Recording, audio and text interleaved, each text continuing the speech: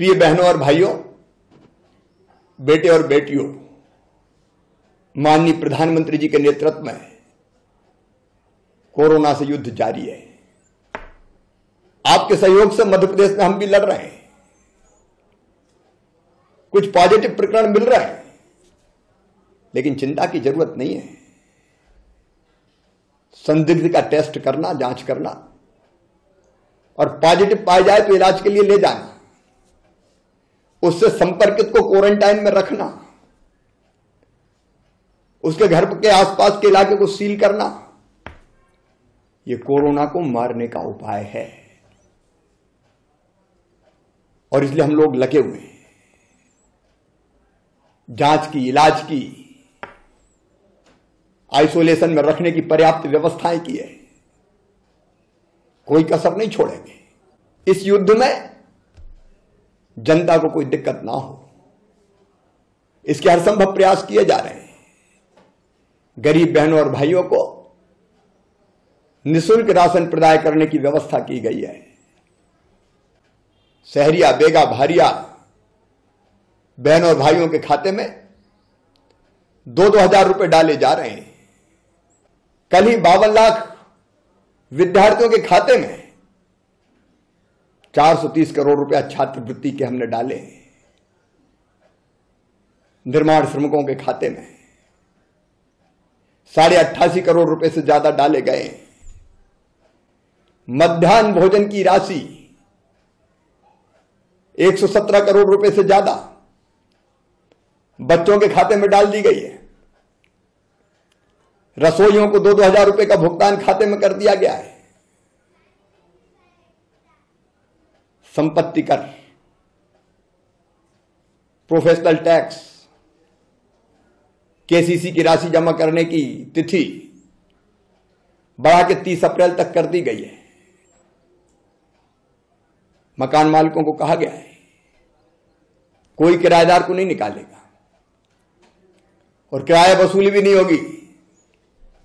बाद में किस्तों में ले लेना, ये संकट का समय है। फैक्ट्री के मालिकों को निर्देश दिए गए हैं। कोई अपने मजदूर को नहीं निकालेगा। उनकी तनख्वाह भी नहीं काटेगा। उनके भोजन और आवास की व्यवस्था करेगा। किसान भाइयों, उपार्जन गेहूँ का भी फ़िलहाल रोका गया है। क्योंकि हम कोरोना के खिलाफ अभी लड़ाई में लगे हैं। लेकिन चिंता मत करना। पूरा गेहूँ खरीदा जाएगा। मेरे प्रिय बहनों और भाइयों, हर आवश्यक उपाय इस युद्ध को जीतने के लिए हम कर रहे हैं।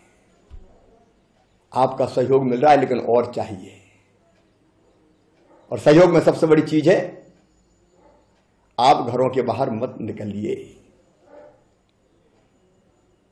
क्या हम कुछ दिन केवल अपने घर में नहीं रह सकते। अपने लिए, अपनों के लिए, अपने बच्चों के लिए, अपने परिवार के लिए, जनता के लिए, प्रदेश के लिए, देश के लिए। हम पढ़ सकते हैं, रामायण महाभारत देख सकते हैं, योग व्यायाम कर सकते हैं, बच्चों के साथ समय गुजार सकते हैं। इन दिनों में अलग ढंग से जिए। बाहर निकलने से पूरी तरह से बचें। सब्ज़ी के अनेकों विकल्प है। हम कढ़ी, बड़ी, दाल, पापड़ की सब्ज़ी पहले भी तो खाते रहे। इस लड़ाई को जीतने के लिए ज़रूरी है। आपका हर संभव सहयोग मिले, लक्ष्मण रेखा प्रधानमंत्री ने बनाई है, उसको पार ना करें। कोई गड़बड़ करेगा तो सख्ती भी होगी, मैं माफ़ी चाहता हूँ।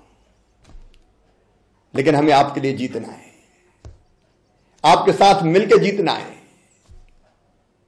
मैं कोरोना में, जो हमारे योद्धा हैं, डॉक्टर्स, नर्स, पैरामेडिकल स्टाफ, हमारे पुलिस के जवान, पुलिस के साथी, नगरीय निकायों के कर्मचारी, राजस्व के कर्मचारी, आंगनवाड़ी कार्यकर्ता है आशा उषा कार्यकर्ता है अनेकों साथी,